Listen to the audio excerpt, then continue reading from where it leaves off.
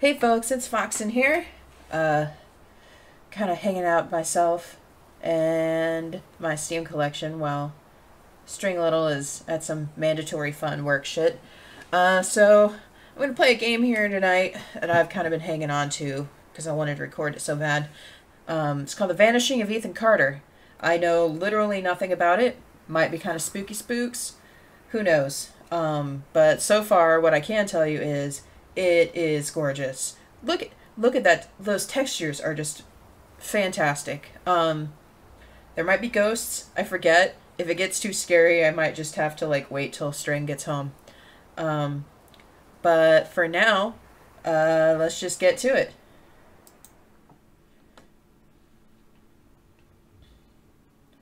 I like that ellipsis as it loads.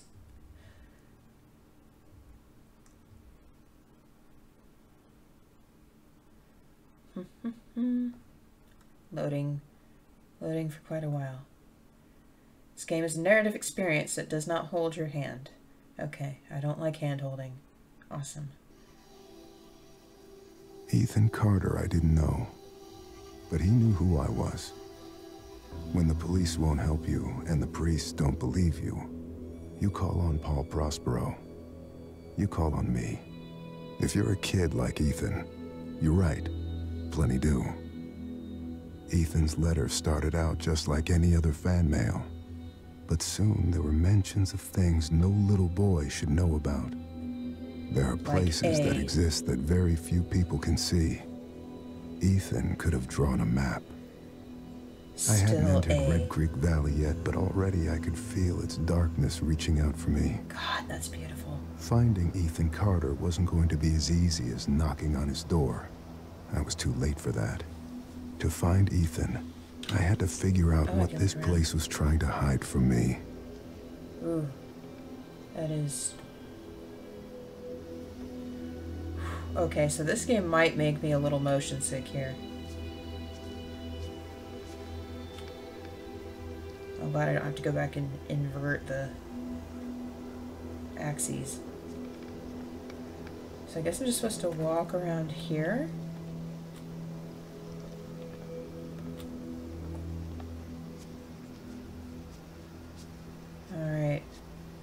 Close are the rails, guys? Whoa! Shit. Oh. Oh. Okay. I wasn't prepared for that shit. Oh god. Oh, okay, I'm holding. Oh. Oh god, I wasn't ready. Am I supposed to do?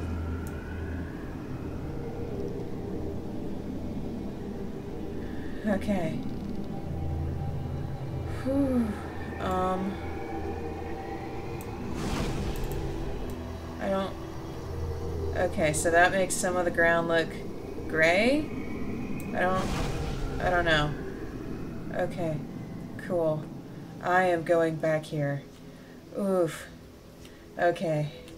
My blood pressure just went through the roof, guys. Oh my gosh. Okay. Okay. Let's, uh, let's drive on the railroad tracks for a little bit. We are out of tracks.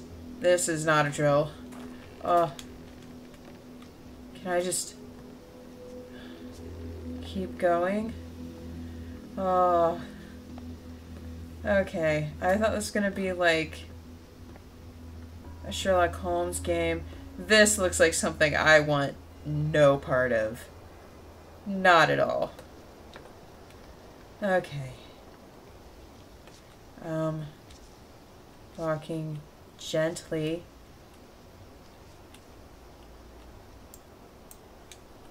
And carefully.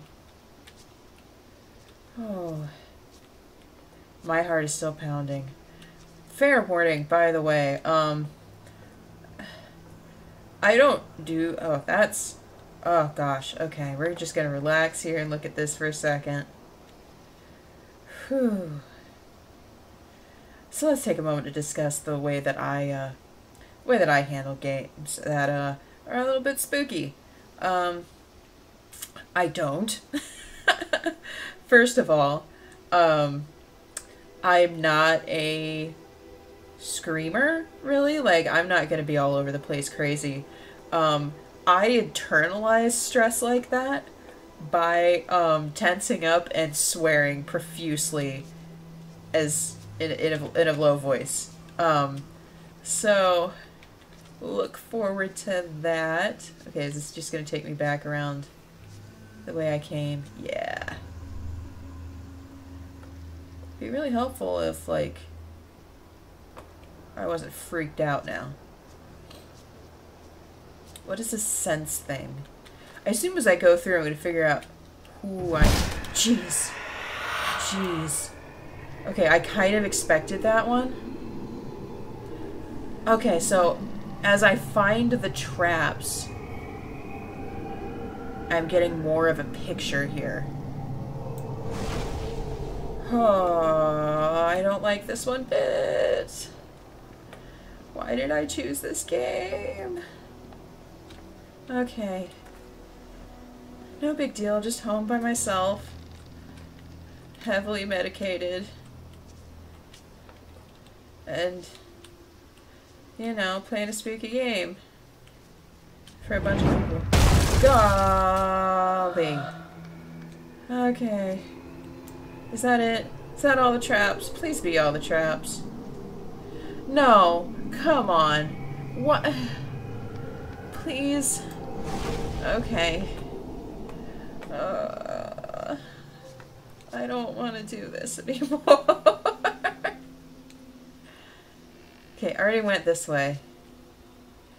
So it looks like I can't get hit by the traps. They're just going to explode at me. I'm so glad I peed before I did this. I feel like there's one here. I just, I got this feeling. I already found one over here. Yeah, this is the other one I found. Okay. Cool. Criminy. Okay. I found three traps. I am pretty trapped out.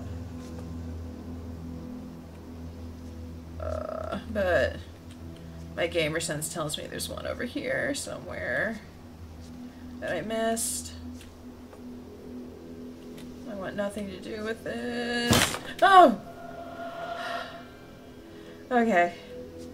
Uh, are we done? Please say we're done. Oh, come on. Come on. It's like a dodo bird puzzle piece left. Like, uh, okay. Okay.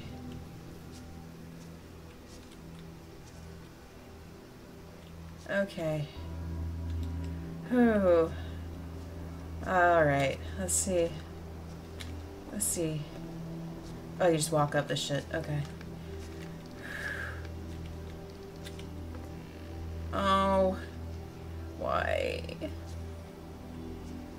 Can I just do this with my eyes closed until I hear the sound?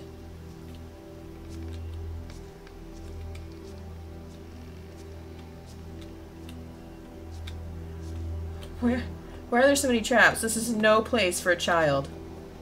Um, it's gonna be the bridge, isn't it? I bet you this is where I have to go to further the story. Yeah.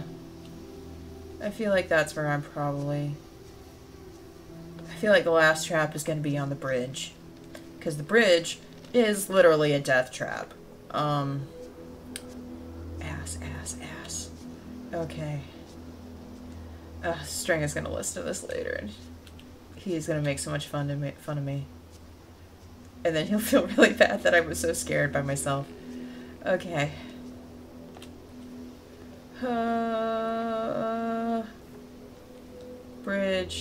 Closed. Do not enter. So, of course, I must enter. Can I die in this game? I thought this was just going to be like a visual novel with like mysteries. Red Creek Valley seemed like a quiet, ordinary place. I've learned two things in my life. No place is truly quiet, and nowhere is really ordinary. Oh my gosh. Ethan warned me about that. Warned me not to be fooled by what I saw here.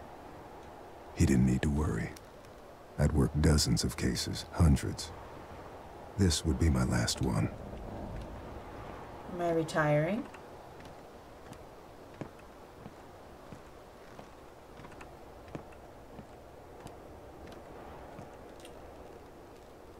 It seems like this is where I need to be going.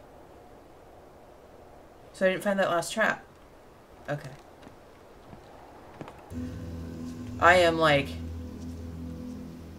all hands at red alert here, but I am still more than able to appreciate what's going on here in this game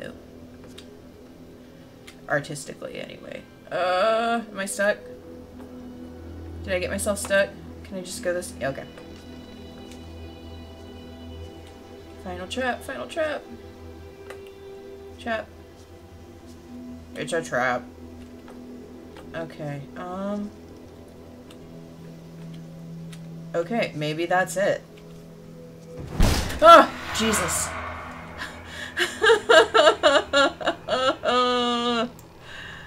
okay. Dodo bird, show me. You know what, on second thought, this is not what I wanted. This is...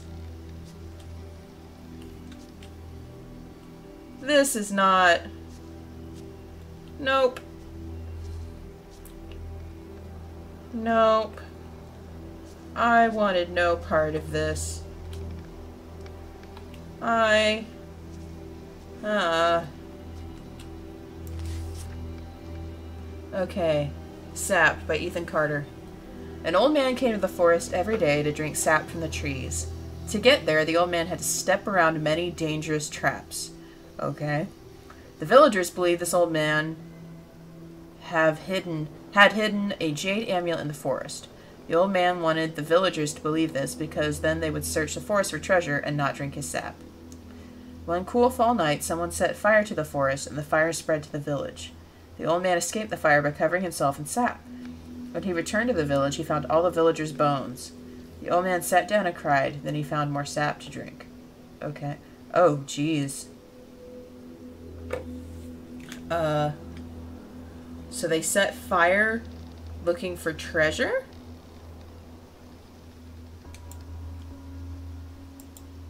Ethan, I told you, you can't be here. But Gramp, I wrote something for you. That's real nice. Thank you. Just just leave it. I'll read it later.